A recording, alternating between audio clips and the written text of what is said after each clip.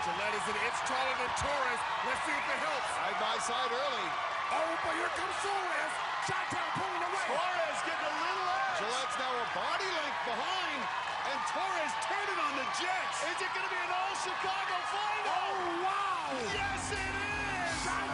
He went faster than Swanson.